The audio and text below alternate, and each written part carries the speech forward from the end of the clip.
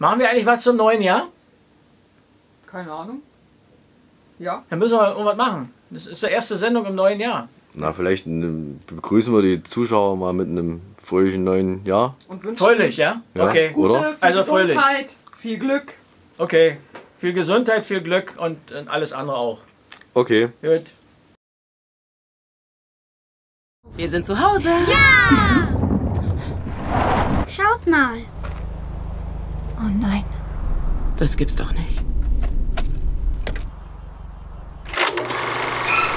Pöni TV. Hallo zusammen, hier ist Hans-Ulrich Pöni Pönack mit Pöni TV. Unser Film in dieser Woche, Ben is Back. Mom. Mom, nein, bleib hier. Das gibt's doch nicht. Ich glaub's nicht. Hi, Mom. Was will Ben hier?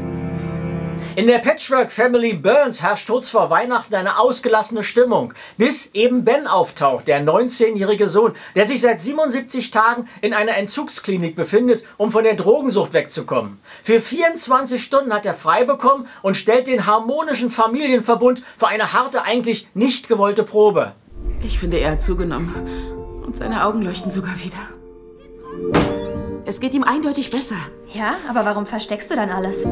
Ben blickt mit seinen erst 19 Jahren auf eine fürchterliche Drogenzeit zurück, hat dabei unendlich viel Mist gebaut und große Schäden angerichtet.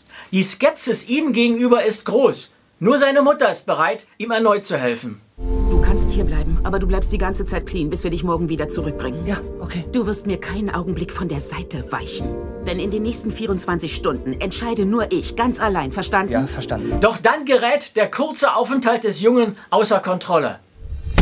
Oh, Scheiße. Oh, ich habe meine Familie in Gefahr gebracht. Das ist alles deine Schuld. Wenn ich nichts unternehme, könnte es noch viel schlimmer werden. Holly Burns ist dennoch nicht bereit, ihren Sohn aufzugeben, kämpft wie eine Löwenmutter um ihn, obwohl die Zustände immer bedrohlicher werden und aussichtslos erscheinen. Du musst nach Hause fahren.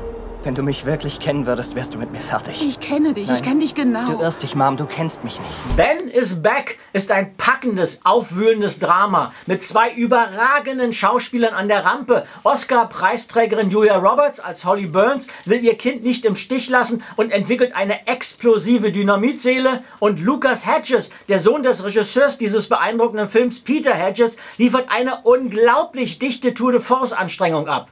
Wer überragendes, unter die Haut gehendes Schauspieler-Spannungskino mag, ist hier richtig. Alles, was ich will, ist, dass du mir noch einen winzigen Gefallen tust. Ich suche meinen Sohn. Da stimmt doch irgendwas nicht.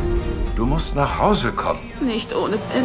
Viereinhalb Pönis für Ben is Back, ein Vollpfund des brillanten Niveaukinos. Weiterhin laufen in dieser Woche neu im Kino an. Robin Hood in einer Art moderner Hip-Hop-Historienversion aller MTV-Trailer, überschnell, hektisch, barbarisch, schlecht gezimmert und getypt, einen halben Pöni. Das Mädchen, das lesen konnte. Französische Cineastenperle um ein Dorf, in dem nur Frauen leben, weil die Männer von Napoleons Schergen verschleppt wurden. Dann aber taucht ein Mann auf und soll für den Bestand der Gemeinschaft sorgen. Vier Pönis.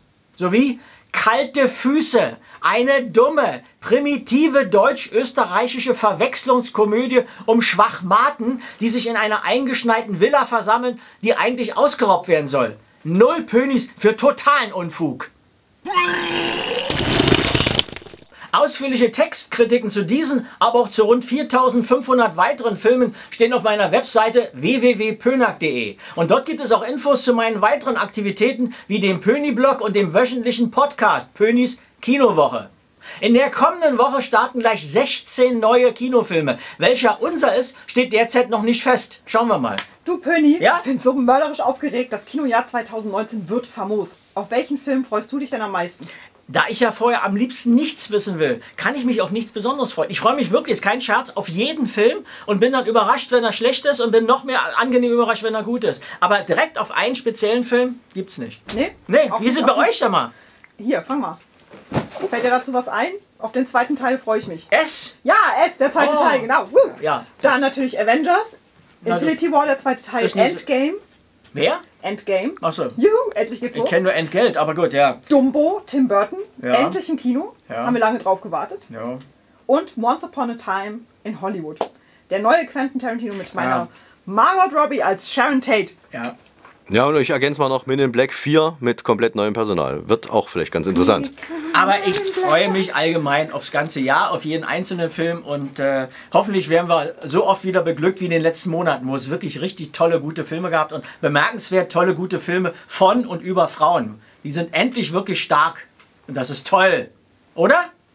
Ja, auf jeden Fall. Und wir wollen natürlich von euch wissen, wenn ihr, Ja. welche Filme freut ihr euch denn? Schreibt es in die Kommentare rein. Dieses Jahr, was alles startet. Man weiß natürlich nicht, wie die Filme werden, aber man kann sich ja trotzdem schon mal ein bisschen auf was freuen. einige und Ja. ich bin auch gespannt. Ihr habt ja vielleicht gelesen, was dieses Jahr so alles anläuft. Habt ihr irgendeinen Favoriten? Rauf auf den Kommentar. Interessiert uns sehr. In Okay. dem Sinne, macht's gut.